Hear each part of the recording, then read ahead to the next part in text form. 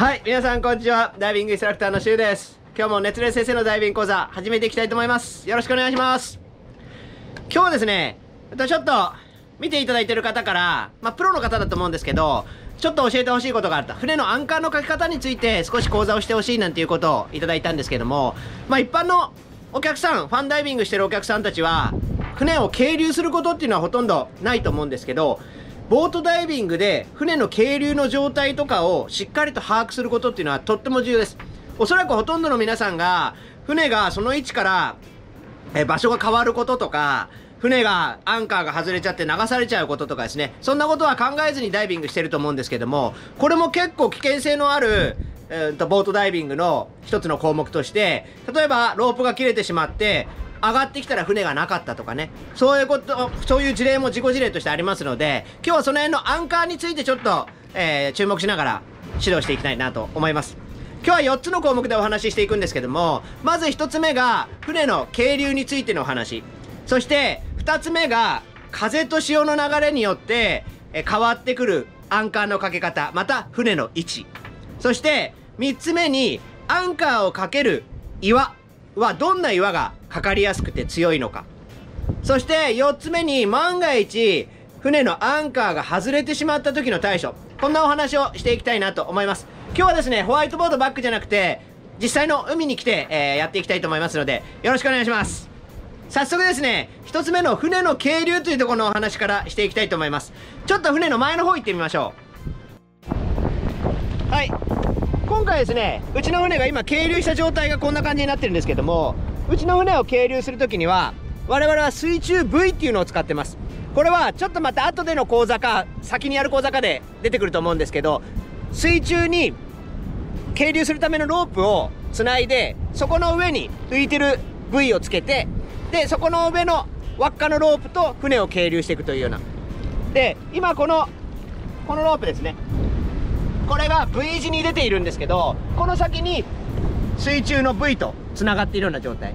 そして真ん中から出てるロープ。これが何のロープかっていうと万が一この V ロープが切れてしまった時に予備でかかるようにしてるアンカーになってます。予備アンカーってやつですね。こんな感じが船の係留になってきます。で船の、うん、と渓流っていうのは場所によってもすごく変わってきます。この島は他にダイビングスポットがダイビングショップがあるわけじゃないですのでこうした部位をつけて1つのショップがしっかりと利用することっていうのはできるんですけども地域柄によってはたくさんの船がそのポイントに集結することもありますのでアンカーのみでやることっていうのもあります。アンカーのみで係留する時っていうのはメインアンカーっていうのがあってでさらに予備アンカーっていうのを引くような感じですね。これが基本的な船の係留になります。V を使うのかアンカーを使うのか。でアンカー今こっち2種類見てもらうと分かると思うんですけども。このでかいやつですね。うちがメインで使うこれメインアンカー。でこっちがサブ予備アンカーってやつなんですけども。まあこんな感じの形状のアンカーを利用してます。でこれを1本かけてでその予備でこっちを使う。これがアンカーリングってやつなんですね。これが船の係留についてのお話です。じゃあ次に、えー、2つ目の風の風と潮の流れについてのお話をしていきます。今見てもらうとちょっと風が強い日に来てるので分かりやすいと思うんですけども今ちょっと波の方見てもらえますか？今風が、えー、こういう向きに吹いてます。分かりません。波がこうに立ってるんですけども風がこういう向きに。そうすると船を係留した際に船の船首が風の紙に向くようになります。ですので今係留してますので船の船首が風の上側に向いてる状態。でここにもしも潮の流れが当たってきたらどうなるか。潮が風と同じ向きに流れていたら船の状態はそのまま同じです。風と潮が逆に当たってくると船の位置っていうのが今のこの位置から少し縦になってきます。風に対して頭を向けているんですけどもケツが潮で押されて少し縦の位置になる。この船の位置をしっかりと把握しなければならない。特にアンカー打つ人は一番重要です。風の向き潮の向き。それによってどの方向でアンカーを打てばいいか。これが決まってくるんです。ですので今の向きであれば風と潮が今一緒ですのでこういう向きにこういう向きにかけてくればロープが効いて船の係留ができる。だけどかける岩がうまいこと見つからなくてこんな向きでかけちゃうとこのアンカーはロープが効いてきた時に高温になりますのでうまくかけたのがこのまんま違う負荷がかかって外れやすくなってしまう。でかけるためには必ずこの風向きと潮の流れこの辺の把握することがまず重要になってきます。じゃあ3つ目ですね。アンカーをかける岩岩質なんですけどもちょっとそれは水中に入ってえー、見ていきましょうか。今からじゃあちょっと水中の方に行きたいと思います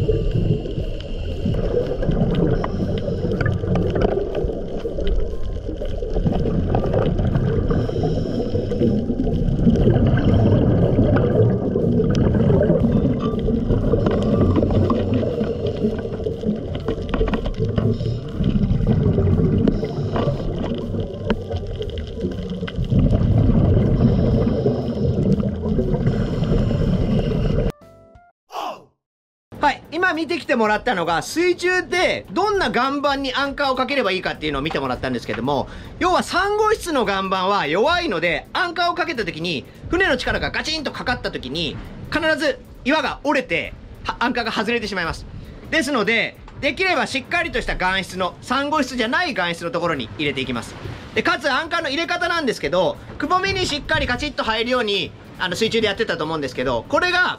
うんと、2つ良くないパターンがあって、くぼみに入れすぎて、ロープが擦れてしまうような入れ方。それとか、アンカーが、え深い棚の下ぐらいに落っこっちゃって、ロープで効いちゃうような状態。これはアンカーリングしてても、ロープが擦れて切れて、アンカーが外れちゃうっていうことになっちゃいますので、その辺は注意しなきゃならない。ね、だからアンカーかけに行くときに最初に話した風の向きとか潮の向きをしっかりと把握してかける向きを頭の中入れていくと。で、向きが分かったならば、が、かける岩質を探してそこにしっかりとかけていく。これが船のアンカーリングってやつです。で、もしも、今言ったようにロープが切れちゃったり外れちゃったり、これって、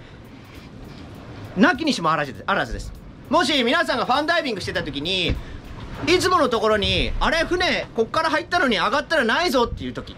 で、ちょっと周りを見渡したら、少し先に船があったとします。これは皆さんがナビゲーションがしっかりとできていなければダメなんですけどもナビゲーションができていて本来船がある場所になかった時っていうのは船が流されてる可能性っていうのがありますのでこの時の鉄則として絶対に船を追いかけないでください。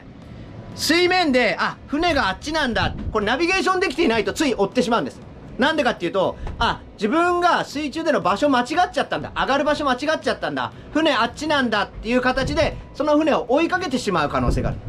そうするとどういうことが起こるかっていうと、今ぐらいの風でも、船が風、外れて、ロープが外れて、な風に流されていくと、人間の泳いだ力では絶対追いつかないです。で、同じ距離、泳いでも泳いでもずっと同じ距離離されてって、体力が消耗して、えー、溺れてしまったり漂流してしまったりそういうことにつながってきますのでしっかりと水中でやっぱりナビゲーションもできてなきゃいけないんです。本来ここに船があるはずなんだよなっていうことを分かってなきゃいけないことと万が一上がって船が遠くにあったとか違う場所にあった時っていうのは外れているっていう可能性も頭に入れなきゃなんで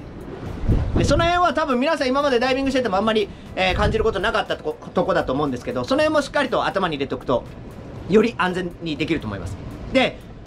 えプロの方、アンカーのかけて、えー、外れてしまった時、こういう時のために必ず予備アンカーっていうのを打ちます。さっき言ったうちも水中の V を設置しました。V だから安全だよじゃなくて、V が切れちゃった場合、外れちゃった場合、そこで予備アンカーっていうのを必ず入れておきます。アンカーもダブルで入れておく。ねこういう外れる時期ってどんな時期かっていうと風回りって言って沖縄だと旧暦の2月大体だ新暦でいくと3月ぐらいですねこの辺の頃っていうのは風がコロコロ変わるんですね。北側の風だったのが急に南の風になったりとか。そういうことがあったりするのでそんな時にかけてたアンカーは風向きが逆になればおのずと逆側になりますから外れちゃうわけですね。そういう場合は風が変わる予報の場合は予備アンカーをうまいこと逆側の位置で設置していく必要性があると。ね、こんなことを頭に入れておくと船の係留もやはり安全にできるんじゃないかなと思います。ちょっと今回はあのプロ側の目線の方で教えてったのでハテナマークが出る人も多いかと思うんですけども船の係留っていうのは非常に重要な一つの項目ですので、えー、研修でダイビングガイド目指してる子とかねプロを目指してる子っていうのはしっかりとその地域の係留の仕方を覚えて安全に船の、えー、外れて流されてしまう事故がないようにですねやってみてください。また普通の一般レジャーのファンダイビングの方もですねいつも船がそこにあるとは限らないです。万が一のこともいつも念頭に入れて予備対策自分の、えー、心構え等もやっておくといいんじゃないかなと思います。はいということで今日は、えー、アンカリングについてのお話をしてきました。今日でこれあこれで熱烈先生のダイビング講座終わりにしたいと思います。また次回。